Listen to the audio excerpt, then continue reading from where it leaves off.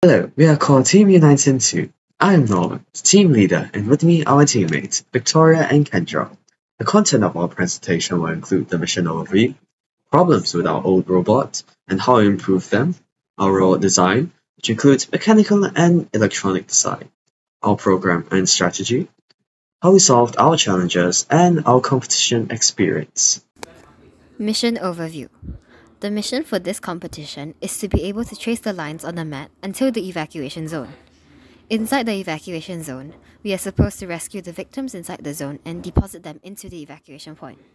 Afterwards, the robot should be able to exit the evacuation zone and continue to line check until it reaches a red line. Problems with the old robot This year at Nationals, we placed second, and overall, our robot was able to complete most of the run.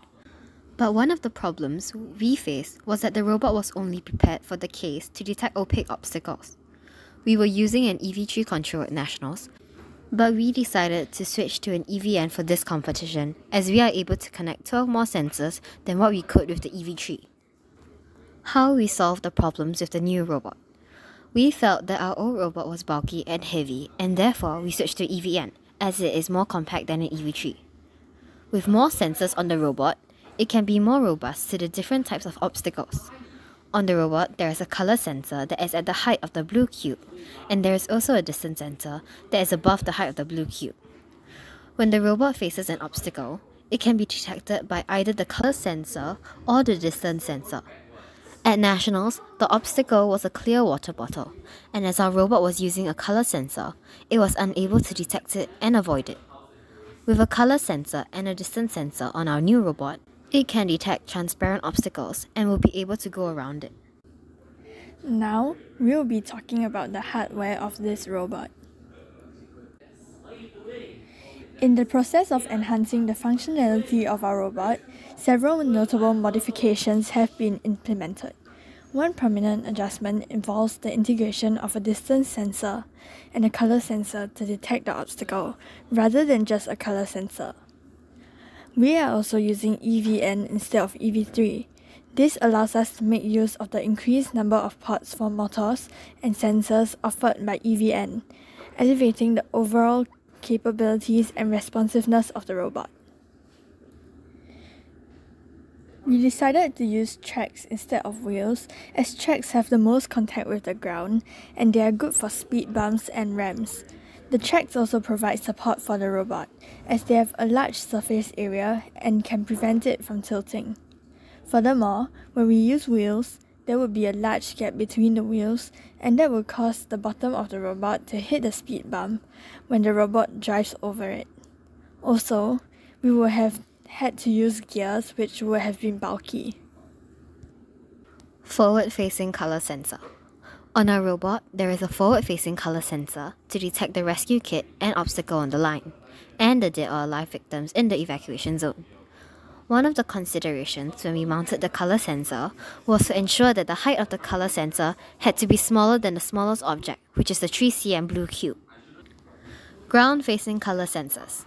We used four ground-facing color sensors to help the robot with line tracking and green square detection. The two color sensors at the back are for tracing the line, while the two color sensors at the front are for detecting the intersection. When the front two color sensors detect the intersection, the back two will check for the green squares. Time of flight sensors. We use TOF sensors for robot navigation, vehicle monitoring, and detection of the obstacle.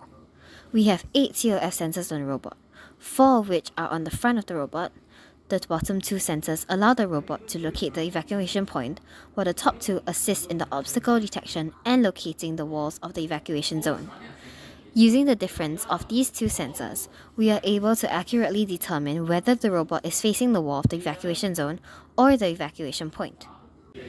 We have four TOF sensors on each side, which can help us determine where the exit point in the evacuation zone is located. Furthermore, it also helps us in the detection of the obstacle. There are two channels on top of the robot, one for the dead victims and the other is for the alive victims, along with the blue cube. When building, we had to make sure that the channel was tilting down and must work for both cubes and victims. With it tilted down, the victims and cubes can be brought to the back of the robot to be sorted out. For our sorting mechanism, we are using a servo that will be attached to the back of the robot after the dead victims, alive victims, and blue cube. Thank you, Kendra. I am Norman, and I will be talking about the software section of the robot. First of all, a general overview of how the robot traces the line. For this, we use proportional line tracing. Basically, the robot's color sensor picks up the raw color value and normalizes it with the other sensor. This is to make sure the robot does not curve in a weird way, as the value of the sensors vary. If we use the raw values, both sensor readings would be different and the robot would not go in a straight line. For software, instead of using the EV3 LEGO Mindstorms application to program our robots, we used Arduino IDE, which is more versatile and reliable. Using Arduino IDE, we are also able to code our new robots with greater efficiency and speed, as we could just reuse the code that we had written before and adjust certain values as necessary. The structure of our code is generally similar to what we did in the LEGO EV3 Mindstorms, with a few minor changes. Now, some of the special inputs that we use to aid us in our program. For the servos and sensors, the default value varies for each sensor, and it will take a very long time to calibrate and find those values for each sensor.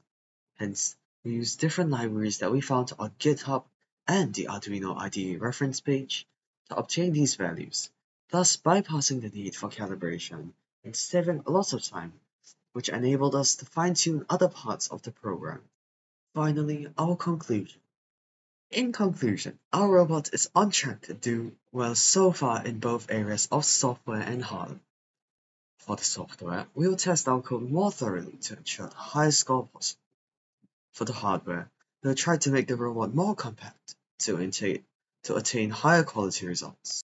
All in all, during our experience, we worked out all problems as a team and also managed to exchange our ideas with other teams. This was a great learning experience for us as we have learned how to be creative, as well as a new programming language, Arduino IDE.